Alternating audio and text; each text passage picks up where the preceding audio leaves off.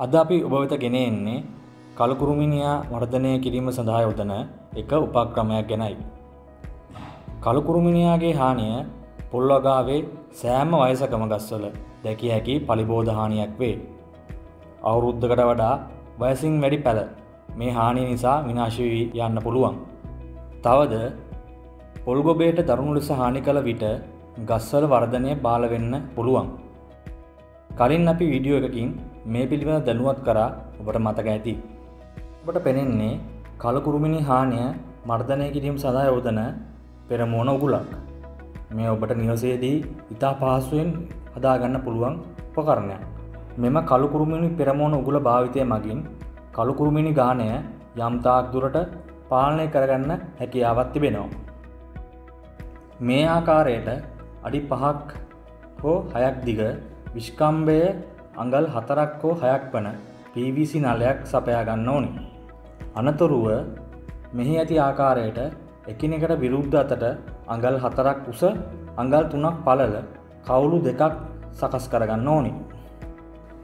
මෙයට හේතු වන්නේ කළුකුරුමිනියාට උගුල වෙත ඇතුල්වීම සඳහායි.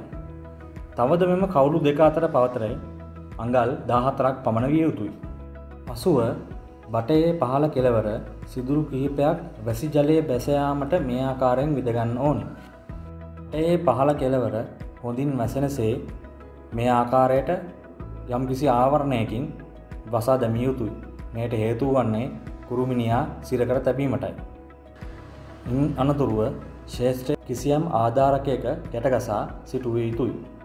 හානිය පවතින ශේෂත්‍රයේ හෝ ශේෂත්‍රයේ අයිනක හෝ මායිමක හෝ එලිමහන් ස්ථානයක මෙය ස්ථානගත කළ යුතුයි.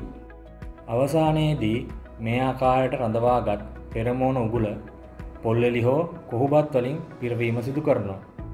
මෙයට හේතුව වන්නේ කළුකුරුමිනියාට සුදුසු වාසස්ථානයක් මෙහි ඇති කෙරමීමටයි. පොල්ලෙලි පිරවීමේදී හෝ කොහුබත් පිරවීමේදී අඩියේ සිට අඩි එකහමාරක් පමණ උස්සනසේ පිරවීම සිදු කරනවා. මෙයට හේතුව වන්නේ පෙරමෝන යොදන කවුලුව අබහිර නොවීමටයි. කළුකුරුමිනි පෙරමෝන උගුලේ හිමාව ලෙස සපයාගත් පෙරමෝන බටේ ඇතුළට වෙන ලෙසින් අවසාන් කවුලුවේ කම්බියක් ආධාරයෙන් එල්ලිය යුතුයි නැතහොත් යම් කිසි සිදුරක් කර එල්ලිය යුතුයි.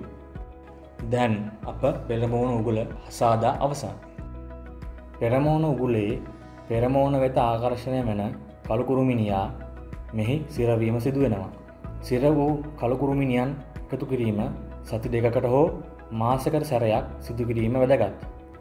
මෙහිදී අපි බටය යටින් යෙදූ ආවරණය ගලවා කුරුමිනියන් ඉවත් කිරීම සිදු කරන්න පුළුවන්.